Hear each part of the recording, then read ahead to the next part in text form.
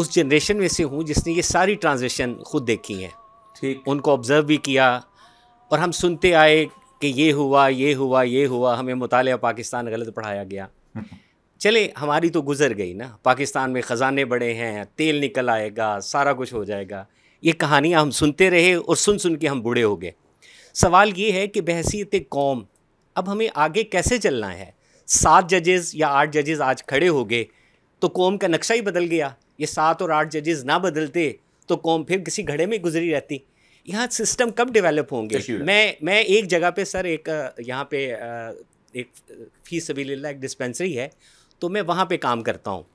تو آپ یقین جانیں جو لوگوں کے معاشی حالات ہو چکے ہیں میرے پاس ایسی مائیں آتی ہیں جن کے دو تین بچے اگر بیمار ہیں اور ہم ان کو یہ کہتے ہیں کہ آپ یہ میڈیسن لے لو تو وہ کہتی ہے ایک صرف ہمیں لکھ دو جو سب کے لیے کفایت کر جائے۔ تو یہ بہت بڑی ہی مجھے تو آپ یقین رونا آتا ہے جب میں یہ باتیں سنتا ہوں کہ ہم تاریخ کے ان مراحل سے گزرے ہیں اور بدلنے کا ہم نام بھی نہیں لے پا رہے۔ کہاں پہ ہم جا کے رکیں گے؟ بہت شکریہ۔ دیکھیں، مجھے اکثر لوگ کم از کم دو ڈھائی سال سے یہ کہہ رہے ہیں کہ تم امید بہت دلاتے ہو۔ اور مایوسی والی میں آج سے ایک سال پہلے کہتا تھا کہ یہ قوم جو ہے، یہ اس کے اندر یہ کیفیت ضرور ہے کہ یہ ریئیکٹ کرے گی۔ اور دوسرا میں کہتا تھا کہ اسٹیبلشمنٹ کے پاس اتنی قوت نہیں ہے کہ اگر قوم کھڑی ہو جائے تو اس کے فیصلے کو یہ بدل سکے۔ آٹھ فروری آپ خود دیکھیں کہ آٹھ فروری میں باوجود کے پی ٹی آئی کے لوگوں کو اٹھایا گیا، ان کے قیادت کو قید کیا گیا، اس کو جیل میں رکھا گیا، ساری کی ساری قیادت انڈر گراؤنڈ ہو گئی، سب کچھ ہوا، اس کے باوجود بھی لوگوں نے سنگل میجورٹی پارٹی کے طور پہ اس کو لے ایک تو یہ بات دیکھیں اور اس میں سب سے اہم بات یہ ہے کہ اس کی ایک وجہ۔ اب مجھے کیوں امید ہے؟ مجھے امید ہے کہ میں اللہ تبارک و تعالیٰ پہ مکمل توکل رکھنے والا بن۔ ومن یہ توکل اللہ فو حسب جس میں اللہ کہتا حسب وہ کہتے ہیں کافی ہو گئے، کوئی ضرورت نہیں ہوتی۔ اللہ تبارک و تعالیٰ کا ایک وعدہ ہے، ان اللہ لا یغیر ما بقوم حتی یغیر ما بانفسهم کہ ہم کسی قوم کی حالت اس وقت تک نہیں بدلتے جب تک وہ خود بدلنے کا خیال نہیں ہوتا۔ یعنی وہ چاہتی ہے کہ بدلنا۔ اب آٹھ فروری کو ہم نے بدلنے کا خیال بتا دیا کہ ہم نے کہا کہ نہیں، ہم اس سارے کے سارے بسیدہ قسم کی لیڈرشپ کو اس کے خلاف آنا چاہتے ہیں۔ اب آپ کا سوال آتا ہے کہ ہم کس طرف جائیں گے، تاریخ غلط پڑھائے گی، سب کچھ۔ پہلی بات تو یہ ہے کہ دنیا میں قومیں جو ہیں وہ معاشی طور پر بھی آگے بڑھتی ہیں اور اخلاقی طور پر بھی۔ اخلاقی مقام آپ کا آ جائے تو معاشی مقام آپ کا خود بخود ٹھیک ہو جایا کرتا ہے۔ میرے سامنے ہزاروں مثالیں ہیں کہ جن میں قوموں نے باقاعدہ کھڑے ہو کے اپنے اس معاملے سے آگے بڑھا۔ مثلا میں ایک چھوٹی سی مثال دیتا ہوں کہ آپ کہتے ہیں کہ پاکستان میں تیل نکل آئے گا یا نہیں نکل آئے گا۔ پاکستان کے جو ریسورسز کی اگر حساب لگایا جائے تو پاکستان میں نائنٹی فور پرسنٹ لوگ ایسے ہیں کہ جو سسٹینیبل ڈیولپمنٹ پہ چلتے ہیں، جن کو بینک کی شکل نہیں دیکھتے۔ جن کی پوری کی پوری زندگی جو ہے، گندم کی فصل آتی ہے اور اسی گندم سے ان کے جوتے بھی بن جاتے ہیں، اسی گندم سے ان کی نائب کے پیسے بھی دے دیتے ہیں، اسی گندم سے وہ اپنا کپڑے بھی خرید لیتے ہیں، اسی گندم سے وہ اپنا حکیم کو بھی دے دیتے ہیں۔ صرف نمک ان کو خریدنا پڑتا ہے۔ یا کسی طور پر ان کو تیل خریدنا پڑتا ہے۔ گھی تک ان کا اپنا آتا ہے۔ ٹھیک۔ اگر کچھ تھوڑے بہت آگے بڑھ جاتا ہے تو پھر اس کے بعد اس کو بجلی کا بل، وہ بھی اسی اسی جو ہے پوٹ جسے نا ٹوپا، جھڑوپا کے اندر سے۔ گندم ہمارے پاس اتنی ہوتی ہے اب بھی کہ اگر ہم اس کو مینپولیٹ نہ کریں تو یہ گندم جو تھی، یہ پورے کے پورے بر صغیر پاک و ہند کو اس علاقے سے گندم جایا کرتے تھے it was called the fruit food basket of the entire subcontinent of India یہ جو ایسٹ پنجاب لدھیانہ میں میں گندم گر نہیں ہوتے تھے، گرداسپور میں گندم نہیں ہوتے تھے پانی سارا نیلی نظام تو یہاں پر تھا۔ یہاں منٹگمری تک لے گیا ہوا تھا انگریز ان کو۔ تو اصل مسئلہ یہ ایک تو یہ ہے۔ دوسرا، جہاں تک آپ کی باقی چیزوں کا تعلق ہے کہ آپ رائے چار فیصد جس پہ ہم کرتے ہیں، وہ میں اور آپ ہیں جو شہر کے اندر رہتے ہیں، جن کو اسکول میں بچوں کو بھی بھیجنا ہوتا ہے، باقی سارے کام بھی کرنے ہوتے ہیں۔ یہ جو لوگ ہیں، ان کے لیے میں ایک مثال آپ کو دیتا ہوں۔ میں چاگی میں ڈپٹی کمشنر تھا۔ تو دھماکہ ہو گیا۔ سب کو، آپ کو بھی پتا ہے، مجھے بھی پتا ہے دھماکہ ہوا۔ ٹھیک۔ اور اس دھماکے کے بعد ہوا یہ تھا کہ نواز شریف صاحب نے حکم دیا تھا ٹی وی اسٹیشن کو کہ ڈاکٹر قدیر خان کی بجائے آج شام کو سمر مبارکباد کا انٹرویو نشر کرنا چاہیے۔ تو میں جب ٹی وی، میں جب دھماکے کے بعد جب کوئٹہ پہنچا تو مصطفیٰ مندوخیل کے پاس جا کے بیٹھا، ٹی وی کا جو جنرل مینیجر تھا، تو میں نے کہا، ڈاکٹر صاحب آئے ہوئے تھے، تو ڈاکٹر صاحب کا انٹرویو کر لیتے دھماکے میں۔ کہتا، نہیں، وہ نواز شریف نے منع کر دیا کہ نہیں، ڈاکٹر قدیر کا نہیں، سمر مبارکباد کا انٹرویو کرو۔ لیکن میں مثال، میں نے اس لیے بتایا کہ لوگ جو ہیں، شخصیت کا انکار کیسے کرتے ہیں؟ چھوٹے لوگ ہمیشہ کیا کرتے ہیں شخصیتوں کا انکار، بڑے لوگ نہیں کیا کرتے۔ یونین ٹیکسس کا سربراہ جو ہے وہ جو ہے، اس کا پتہ چلا کہ وہ کوئٹہ آیا دال بندی نہ آنا چاہتا ہے وہاں۔ تو میں اس سے ملا، میں نے اسے کہا، تم کیوں آنا چاہتے ہو؟ تو اس نے دو باتیں کی، بڑی خوفناک۔ اس نے کہا، مجھے سیٹلائٹ امیج سے پتہ چلا ہے کہ دھماکے کے ساتھ ہی ففٹی سیون پوائنٹ سے آئل اوز آؤٹ کیا ہے، بوائل کیا ہے۔ تو میں یہاں آئل ایکسپلوریشن کے لیے آیا ہوں۔ میں آن ریکارڈ بتا رہا ہوں۔ As a deputy commissioner nineteen ninety eight کتنے سال ہو گئے دھماکہ ہوئے؟ چھبیس سال ہو گئے نا؟ چھبیس سال میں آئل ایکسپلور ہو سکتا تھا اس ملک کے اندر۔ نائنٹین سیونٹی تھری میں قسمت بدلی تھی نا؟ میں آپ کو ایکچوئل بتا رہا ہوں۔ دوسرا اس کے بعد بی ایچ پی کا جب لائسنس سیندک کا لائسنس میرے سامنے ہوا تھا۔ تو سیندک کے لائسنس کو ہم نے خود تباہ کیا۔ نائنٹین سیونٹی جو لائسنس ہم نے سائن کیا تھا، واپس ایک پچھلے سال واپس اس میں آئے۔ لائسنس سائن کیا تھا؟ آپ کہتے ہیں ہم کچھ نہیں ہے ہمارے پاس۔ لائسنس سائن کیا تھا؟ بیسیکلی جن لوگوں نے گولڈ اینڈ کاپر مائن دیکھی ہو نا، تو مائن نہیں ہوتے۔ آپ نے کبھی بھٹے پہ اینٹیں بنتی دیکھی ہیں؟ تو ہم دیکھا کہ وہ مٹی کھودتے جاتے ہیں، اس کے بعد اس کے بناتے ہیں۔ یہاں بھی ایسا ہوتا ہے، مٹی کھودتے وہ مٹی کے اندر ساری چیزیں ملی ہوتی ہیں۔ وہ اتنے مٹی مٹی کے ٹیلے آتے ہیں ٹیلے آتے ہیں، ان کو پہلے کرش کرتے ہیں، پھر ان کو دھوتے ہیں، مٹی نکالتے ہیں، تو اس کے اندر ذرے رہ جاتے ہیں۔ ان ذروں کو اکٹھا کرتے ہیں، اکٹھا کر کے ایک اسمیلٹر ہوتا ہے، اس میں ڈالتے ہیں اور اسمیلٹر میں اس کی لمبی لمبی وہ بنتی ہیں۔ اس کے اندر لوہا بھی ہوتا ہے، تانبا بھی، لوہا نہیں ہوتا، تانبا ہوتا ہے کیونکہ لوہا تو باہر سے آتا ہے۔ لوہا جو ہے وہ قرآن ثابت کرتا ہے وہ انزل الحدید افیح بات ہم نے لوہا نازل کیا۔ سائنس کہتی ہے کہ ہر چیز زمین کے اندر بن سکتی ہے، دواؤں کے حساب سے لوہا نہیں بن سکتا۔ تو اس میں تانبا بھی ہوتا ہے، اس میں پیتل بھی ہوتا ہے، اس میں چاندی ہوتا ہے point zero zero two percent سونا ہوتا ہے۔ وہ اس کو جا کے پھر ریفائنری میں لے کے جاتے ہیں اور ریفائنری جو ہے اس کو جو ہے اس کو علیحدہ علیحدہ کرتے ہیں۔ اب ہوا یہ کہ جس وقت انہوں نے بی ایچ پی تھی اسٹریلین فرم تو میں نے اس سے پوچھا، تم ڈیڑھ سال سے یہاں لگے ہوئے کچھ اس میں ملے گا بھی؟ تو کیا تم سیندک لینا چاہتے ہو دوسرے؟ تو سیندک بھی چاگی کے اندر ہے۔ تو اس کے بارے میں میں نے رپورٹ بنائی تھی کہ بڑا نان وائبل پروجیکٹ پتہ نہیں کیوں لے لیا تھا۔ وہ پھر اس کے بعد چائنیز کو دوبارہ دے دیا گیا فکر تھا اس کا کہ had we going to explore another Saindak we could have shifted much earlier اگر ہم نے ایک اور سیندک جتنی پروجیکٹ تو ہم بہت عرصہ پہلے اس کو شفٹ ہو جاتے، ڈیڑھ سال نہ لگاتے۔ This is going to be second اور third biggest gold mine of the world یہ ریکارڈ ایک جس کو کہتے ہیں۔ اب جب یہ آ گیا، اب انہوں نے پورا ایکسپلور کر لیا، سارا کچھ انہوں نے دیکھ لیا، کہاں کہاں سونا، چاندی کے ذخائر ہیں، نقشہ بنا لیا۔ اب اس کے بعد وہ لائسنس دینے کے لیے آئے۔ اب میرے اور ساتھی جو بیوروکریٹ ہوتے ہیں، وہ ان کو کہتے ہیں، اب ہم نے ایگریمنٹ کیا ہوا تھا پچہتر فیصد پہ اور پچیس فیصد پہ۔ یعنی پچہتر فیصد وہ لیں گے، پچیس فیصد۔ ہم نے ہم نے تو خرچ ہمارے نزدیک تو وٹوانے کے بٹے تھے وہ۔ اس کے علاوہ تو کچھ نہیں تھا۔ وہ زیادہ سے زیادہ آپ یہی کر سکتے تھے کہ بٹا لے کے آپ ان کو باتھ روم میں رکھ لیتے۔ وہ تو انہوں نے ان کو لانا تھا انویسٹ کرنا تھا، ان کو سونے میں تبدیل کرنا تھا، پچیس فیصد سارے انویسٹمنٹ ہم نے بیٹھے بیٹھے پچیس فیصد لینا تھا۔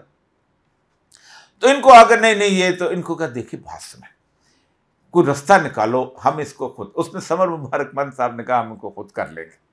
وہ ایک بہت بڑے کمال کے عظیم شان سائنسدان ہیں پاکستان کے۔ تھر کول مائن میں بھی انہوں نے یہی کیا تھا اسی معاملے کے اندر۔ وہ کوئلہ اس قابل نہیں تھا، اس کے اندر پانی اتنا زیادہ تھا، پر میں ان کے خلاف بات نہیں کرنا چاہتا اس بار میں بتانا چاہتا ہوں، ہوا یہ کہ انہوں نے ایک بہانہ لگایا کہ جناب آپ نہ ریفائنری یہاں لگائیں، یہ جو آپ ریفائنری کے لیے چین لے کے جاتے ہیں، ہمیں آپ پہ اعتبار نہیں۔ اس نے کہا دنیا میں وہ جو فرم، اب اٹلی کی فرم آ چکی جو بیچ دیا تھا انہوں نے، جو بی ایس سی والے انہوں نے کہا دنیا میں جہاں کہیں بھی سونا نکلتا ہے، چین میں چونکہ سستا ریفائن ہوتا ہے، اس لیے سارے لے کے جاتے ہیں، مزدور سستا مل جاتا ہے۔ یعنی یہ جو آئی فون والا جو ہے، وہ امریکہ میں آئی فون نہیں بناتا چین میں بنواتا ہے۔ جیگوار والا چین میں بنواتا ہے۔ انہوں نے کہا، نہیں نہیں آپ ریفائنری لگائیں یہاں پر۔ ان کا ایگریمنٹ شامل نہیں تھا۔ کہتے، مجھے بہت مہنگا پڑے گا، میں یہاں بندے مزدور لے کے آؤں گا سب کچھ۔ آپ ایسا کریں کہ آپ ریفائنری جس پہ ہم بھیجیں گے، آپ اپنے افسر وہاں لگا دیں۔ اللہ کا شکر ہے کہ افسر لگے نہیں، ورنہ چین کو بیچ کے آ جاتے، سونا جتنا ملنے کے بعد۔ لگا دیں۔ انہوں نے کہا، نہیں نہیں نہیں، انہوں نے وہ کر، وہ چلا گیا انٹرنیشنل کورٹ کے اندر۔ اور دس ارب ڈالر کا ہمیں جرمانہ ہوا۔ جس پہ پھر عمران خان صاحب نے ٹرکی میں جا کے وہ ختم کروایا اور اس کو ریکارڈنگ شروع کروایا۔ اب جب رجیم چینج ہوئی تھی تو کسی نے اعلیٰ حضرت آسم منیر صاحب کو کہہ دیا کہ ریکارڈنگ سے پیسے آنے شروع ہو جانے، ایک سال میں یہ مالا مال ہو جانا لوگوں نے عمران خان کو بھول جانا۔ اس وقت میں نے کیا تھا کہ یہ پیسے دس سال سے پہلے نہیں آ سکتے۔ اگر یہ انیس سو اٹھانوے میں شروع کیا ہوتا تو آج دس سال میں مل جاتے آپ کو۔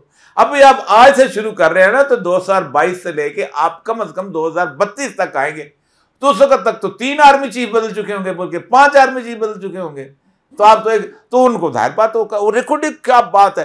پھر انہوں نے کہا بھی، انہوں نے کہا، تھوڑے پیسے پہلے دے دینا میں، ان کو ایڈوانس کو نہیں ہوتے۔ یہ مال جاتا ہے تو ایک دوسرا، مدنیات کے حساب سے۔ پاکستان کے اندر یہ یہ چیز موجود ہے۔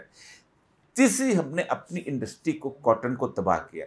آپ کو پتہ ہے کہ جس وقت یہ کرونا ہوا تھا، ہماری جو ایکسپورٹس تھیں، وہ انڈیا اور بنگلہ دیش سے بڑھ گئی تھی آپ کو پتا ہے بنگال، بنگلہ دیش میں ایک ایک ایک پھٹی نہیں ہوتی اس کی کاٹن کی۔ پھٹی کہتے ہیں نا اس کو کاٹن کو۔ ایک پھٹی نہیں ہوتی۔ اور آپ امریکہ جائیں تو پیچھے لکھا ہوگا میڈ ان بنگلہ دیش۔ آپ ایران جائیں تو فرانس جائیں بنگلہ۔ دنیا سے باہر سے منگاتے ہیں کیونکہ انہوں نے لیبر کے حساب سے اس کو ٹیکنیک اور ہمارے ہم سے بہتر کون سے ہو سکتے تو ایک بات تو یہ ہے کہ اگر لیڈرشپ ٹھیک ہو، تو آپ کا ریسورسز بہت اب رہ جاتا ہے معاملہ قرض کا۔ دو معاملات ہیں جن میں آپ پھنسے ہوئے ہیں۔ سب سے اہم ترین معاملہ ہے، وہ آپ کا ہے سرکولر ڈیٹ کا ان ساری چیزوں کا، یہ جو انہوں نے کارخانے لگائے ہوئے ہیں۔ ایک کارخانوں کا مسئلہ یہ ہے کہ اس کے اوپر بھی طے ہو گیا تھا۔ پہلے انہوں نے ساروں نے اصل میں کی ہوئی تھی انٹرنیشنل ایگریمنٹس مطلب پندرہ فیصد ایک انٹرنیشنل ہے، باقی میاں منشے کا ہے۔ دس فیصد فلانے کا ہے، باقی فلانے کا ہے۔ اب اب وہ سارے نکل گئے۔ اس میں کوئی باقاعدہ انکوائری ہوئی تھی، دو ہزار اکیس کے اینڈ میں رپورٹ آئی تھی کہ انہوں نے یہ یہ بےمانیاں کی ہیں، کوئلہ کی قیمت زیادہ لگائی ہے پوری رپورٹ میرے پاس موجود ہے، میں نے کل کام کیا۔ اس پہ عمران خان نے کہا بیٹھو، ہمارے ساتھ نیگوسیٹ کرو کہ کیونکہ قانون یہ ہے کہ اگر ایگریمنٹ میں بےمانی کریں تو ایگریمنٹ کینسل ہو جاتا ہے۔ پھر ری نیگوشیٹ کیا جاتا ہے۔ کیونکہ بیسیکلی یہ انٹرنیشنل لا ہے کہ اگر آپ چیٹ کرتے ہیں، بےمانی کرتے ہیں اور ایگریمنٹ کے کلاس کو فلاک یونیلیٹرلی ختم کرتے ہیں، ختم ہو جاتا ہے۔ اس کے ساتھ رجیم چینج آ گئی اب حالت یہ ہے کہ بے شمار ایسے پلانٹ ہیں جن میں سے ہم ایک روپیہ نہیں، ایک یونٹ بھی لیکن ہم ان کو دیتے ہیں۔ کیپیسٹی چارج تو تم چپ رہو۔ یعنی پچیس ہزار میگا واٹ ہماری ڈیمانڈ ہے، انچاس ہزار کے ہم نے لگائے ہوئے ہیں۔ یعنی آپ خود سوچیں نا کہ آپ کے گھر میں دو کلو دودھ چاہیے اور آپ چار کلو خریدیں روز، تو وہ باہر میں دودھ آنے بلی کو پلانا نا، اور کیا کرنا؟ اور اس کے پیسے بھی دے رہے ہیں آپ۔ نے تو اس کیفیت کو بھی آپ بدلا جا سکتا ہے بڑی آسانی کے ساتھ کہ ختم کریں اور کہیں جاؤ۔ ابھی وہ کہہ رہے ہیں، یہ ختم نہیں کریں گے کول پلانٹ میں، یہ یہ یہ بہت بڑا فراڈ کیونکہ ایک منٹ کے لیے بھی نہیں۔ دوسری چیز یہ ہے کہ آپ کے اوپر سے one sixty eight billion dollar کا قرضہ ہے اور انٹرنل قرضہ پہلے دوسری اس میں ایک انٹرنل قرضہ اتنا ہی۔ انٹرنل قرضہ ایک دن میں ختم ہو جاتا ہے۔ وہ ہوتا یہ ہے کہ میرے اور آپ کا جو اکاؤنٹ میں بینکوں میں پیسے پڑے ہوئے نا حکومت قرض لے لیتی ہے۔ انڈیا میں نائنٹین ففٹی نائن میں انہوں نے بینک نیشنلائز کیے تھے۔ آپ کا ایک سیکنڈ کے اندر آپ نیشنلائز کریں، آپ کا قرضہ ختم ہو جاتا ہے۔ لیکن آپ میاں منشا کو ناراض کیسے کریں گے؟ مسلم کوسٹن بینک کو تو بائیس پرسینٹ آپ لے کے دیتے ہیں۔ آپ وہ فیصلہ آباد والے جو ہیں، یو پی ایل والے، اس کو کیسے ناراض کریں گے؟ آپ باقی پارٹیوں کو ناراض کیسے کریں گے؟ ففٹی نائن سے انڈیا چل رہا ہے نا اکانومی کافی ہے نا۔ کسی نے کہا کہ بیچنے سے۔ باقی رہ جاتا ہے قرضہ جو ہے باہر کا۔ اس کے اوپر تو میں بارہا تقریر کر چکا ہوں۔ چار ملک ایسے ہیں جنہوں نے ریفیوز کیا۔ تو ایک بات ہے، مایوسی کی کوئی ضرورت نہیں۔ لیڈرشپ صحیح چن لیں۔ مخلص ہو اور ایماندار ہو۔ دو چیزیں۔ کام آتا ہو نہ ہوتا ہو، کام لیڈر نے نہیں کرنا ہوتا۔ کام ان لوگوں نے کرنا ہوتا ہے جس کو وہ سلیکٹ کرتے ہیں۔ صدر ریگن کو سوائے لطیفے سنانے کا کچھ نہیں آتا تھا۔ جو بائیڈن ڈھنگ سے دو فکرے نہیں بول سکتا۔ جمی کارٹر جو تھا وہ اس کو لایا گیا تھا کیونکہ وہ کہتے ہیں جی کینیڈی سے ملتا ہے۔ بل کلنٹن جو ہے وہ آیا تھا تو اس کو کہا تھا ستر فیصد عورتوں نے مجھے اس لیے ووٹ دیا کہ ان کے خوابوں میں آتا تھا وہ۔ اصل تو اس سیٹ اپ کی ہے جو آپ قائم کرتے ہیں۔ ہمارے یہاں سیٹ اپ ٹیکنوکریٹس کا قائم نہیں ہوا۔ جو تھنک ٹینک جس کو کہتے ہیں۔ ٹیکنوکریٹ کو گورنمنٹ میں نہیں لایا جاتا۔ تھنک ٹینک کے لیول پہ رکھا جاتا ہے۔ وہ بہت دفعہ ڈسکشن ہوئی۔ تو ایک بات تو طے ہے کہ لیڈرشپ اللہ تعالیٰ نے اسی لیے شاید اس بندے کو اس طرح کر رہا ہے کہ پوری کوشش کے باوجود جو تین کیس نکلے ہیں تینوں بےمانی کے کیس نہیں ہیں۔ ایک تو کیس ہے اپنی بیوی سے شادی کرنے کا۔ یہ بہت بڑا دنیا پوری مذاق اڑاتی ہے۔ دوسرا کیس ہے سائفر کا۔ یہ چھ جج کیسے آ گئے اسلام آباد سے؟ یہ کہاں سے آئے تھے؟ یہیں سے نکلے تھے نا؟ اس کو نون لیگ نے بنایا تھا نا؟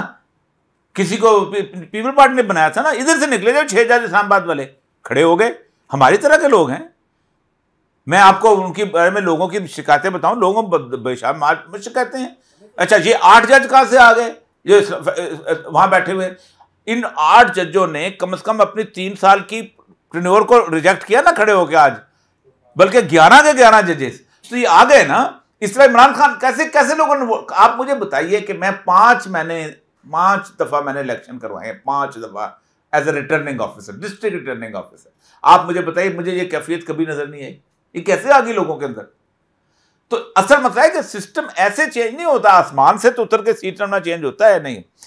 پاکستان سے آٹھ لاکھ لوگ پچھلے سال اور سوا آٹھ لاکھ لوگ اس سال بھاگے ہیں، جو سارے کے سارے اہم ترین لوگ تھے۔ میرا ڈاکٹر ہے یہ جو جس میں ریمیٹالوجسٹ گیارہ ڈاکٹرز آئے تھے یہاں پر عمران خان کے زمانے میں کہ ہم آ کے کام کریں گے۔ اس کو کام نہیں کرنے دیا گیا، ان میں کہتا میں اکیلا رہ گیا، واپس چلے گئے۔ آیت اللہ خمینی جب آیا تھا نا جی وہاں سے فرانس سے، آپ سوچ سکتے ہیں کہ اس اکیلے کے ساتھ جو جہاز میں ساڑھے چھ سو ایرانی آئے تھے، جو شاہ کے زمانے بھاگے تھے، سارے ایکسپرٹس تھے۔ انہوں نے ایران کو یوں کھڑا کر دیا کہ ساری کی ساری سینکشن کے باوجود خوفناک حد تک ترقی کی۔ علم کے حساب سے، تعلیم کے حساب سے۔ میں آپ کو بتاؤں، ایران کے اندر جب ہم سکسٹیز میں ایوب خان کے زمانے میں کوئی بندہ جاتا تھا نا، تو اس کے ہاتھ میں پلاس ہوتا تھا، تو کہتے مہندس آمدن۔ انجینئر صاحب آ گئے۔ اب وہاں حالت یہ ہے کہ ہر چیز وہیں سے آتی۔ اس کو چاغیس کے اندر جو لوگ پہلے ہم سے پہلے ڈی سی تھے، وہ کہتے تھے، یہیں سے ہم ٹماٹر بھیجتے تھے، یہیں سے ہم آلو بھیجتے تھے، یہیں سے ہم جناب جو ہے انڈے بیچتے تھے، یہیں سے ہم بوگلے بھیجتے تھے، کیا نام ہے کپڑا بیچتے تھے گٹ کے پرمٹ تو میں خود دیتا رہا ہوں۔ یہیں سے ہم ان کو ان کو مالٹے اور آم بیچتے تھے۔ اب ساری چیزیں وہیں سے آتی ہیں۔ وہاں آسمان سے سسٹم آ گیا۔ ساری چیزیں۔ بجلی وہاں سے لیتے ہو، اللہ کے بندو۔ بجلی، گوادر میں بجلی وہاں سے آتی ہے۔ سکسٹی کلو میٹر کہاں سے آ گیا؟ آسمان سے تو نہیں اترتے۔ ایسے سسٹم بلٹ ہوتے ہیں۔ ففٹی فور میں مصدق گیا تھا۔ ففٹی فور سیونٹی نائن میں آیا کہ انقلاب آیا ہے۔ کم صفائی ہوئی ہے۔ اٹھا اٹھا کے اس نے سبقت نے ایک بندہ نہیں چھوڑا تھا وہاں اس کا۔ آیت اللہ خمینی دروازے سے پیچھے سے بھاگا تھا۔ ایک بندہ تودا پارٹی کا نہیں رہا تھا۔ میں ان لوگوں سے ملا ہوں جن کی بازو ٹوٹے ہوئے تھے۔ کسی کی ٹانگیں ٹوٹی ہوئی تھی، کسی بہن کو اٹھایا ہوا تھا، کسی کی بیوی کو اٹھایا ہوا تھا۔ میں نے وہ قوت خانے دیکھے۔ ان کو میں نے موضاء عبرت کے نام پہ عجائب خانے بنا دیے میں خوفناک۔ آپ پہ تو کچھ ہوا ہی نہیں۔ چلی۔ ساڑھے چار لاکھ مسنگ لوگ۔ اٹھا کے پرے مالا انہوں نے پنوشے کو۔ آپ نے کبھی لیٹن امریکہ کے ملکوں کے ظلم تو دیکھے جو وہاں پر ہوتا کیا تھا؟ میں ویتنام آج دیکھے ساٹھ لاکھ بندہ مرا ہے ویتنام کے اندر۔ ہم نے کیا دیکھا ہے؟ تو یہ کوئی کہنے کی بات نہیں، مظلوم بننے کی ضرورت نہیں ہوتی۔ بہت بہت قوموں پہ بہت کچھ ہوا ہے۔ اتنا ظلم ہوا ہے کہ آپ تصور نہیں کر سکتے اس کا۔ یہ ابھی ابھی چار دن پہلے کی بات ہے، سیریا۔ ساٹھ لاکھ مہاجر دس لاکھ یتیم چھ لاکھ بندے مارے گئے دو سالوں کے اندر۔ مارے گئے نا؟ اسی لیے ہمارے سب عراق، چودہ لاکھ بندہ صرف چھ سات سال کے اندر۔ یہ افغانستان کیسے ترقی کیا ہے؟ انڈیا سے بڑی اکانومی کہاں سے آ گئے؟ آسمان سے اتر کے آئے ان کے لوگ. میں کل ان کو ان کو ان کو میں نے سہیل شہین کا انٹرویو کیا. آپ سوچیں تو صحیح. ورلڈ بگیسٹ کینال انہوں نے بلڈ کیا ہے آکسس ریور کے اوپر. ورلڈ بگیسٹ کینال ڈھائی سو کلو میٹر لمبی کینال ساری زندگی لڑائی ہوتی تھی وہاں پر. یہاں پہ تاجک کا حق ہے، یہاں پہ ازبک کا حق ہے، یہاں پہ پشتون کا حق ہے، جیسے کالا باغ ڈیم پہ لڑتے ہیں۔ اور کسی کا حق نہیں، سب کو ملے گا پانی۔ اور اس کے مثال آپ کو دیتا ہوں۔ میں چاغی چاغی میں ڈی سی تھا۔ یہ ان کے اب اس وقت جو اپنا ہیں وزیر اعظم کے جو نائب وزیر اعظم ہیں برادر ملا عبد الغلی برادر، یہ ہیلمند کے گورنر تھے۔ پانی روک لیا ایک بندے نے بڑیچ تھا وہاں کا ان کا سردار تھا اس علاقے کا۔ نیچے پانی آتا تھا، ہمارے پاس دال بندین میں آتا تھا، جمال دینی، بادینی اور مینگلوں کے، وہ سارے میرے پاس آئے۔ انہوں نے کہا جی ہم پانی روکا چلو کریں۔ میں نے برادر صاحب کو فون کیا، انہوں نے کہا، میں آ جاتا ہوں، تم بھی آ جاؤ وہیں پر۔ روزے کا وقت تھا۔ میں نے کہا روزہ کھولنے کہا روزہ وہیں کھول لیں گے تو دو تو دو اخبل مول جان راوڑا زے اخبل راوڑا تم دو اپنے مولوی لے کے آؤ میں دو اپنے مولوی لے کے آئیں گے فیصلہ یہ ہنسیں ہیں زمین کا فیصلہ مولوی کرے گی یہ تو پٹواری کرتا ہے یہ تو تحصیلدار کرتا ہے میں نے کہا یار پٹواری کو بھی لے جاؤ اس کو بھی لے جاؤ وہاں چلے گئے بند پہ جا کے کھڑے ہو گئے انہوں نے کہا بتاؤ فقان فیا ہے تمہاری انہوں نے کہا پھر اس کے مطابق پانی کے بارے میں کیا ہے اس نے کہا جی اپنی ضروریات کے مطابق لے سکتے ہیں نیچے والے کا پانی بند نہیں کر سکتے اس نے ایک فقہ بولا طے ماتم جیسے ماتم۔ تم توڑے گا یا مجھے میں توڑوں گا؟ بلٹوزر سے بنا ہوا بند، کدال سے توڑنا شروع ہو گیا تھا وہ۔ اگلے دن بند ختم تھا۔ سسٹم جو ہے نا، وہ اس کو ایماندار بندے کی ضرورت ہوتی ہے۔ انہرنٹلی ہر، آپ کے ہر گھر کے اندر صرف ایماندار بندہ موجود ہوتا ہے۔ آپ اپنا گھر ضائع نہیں کرتے، آپ نہیں کرتے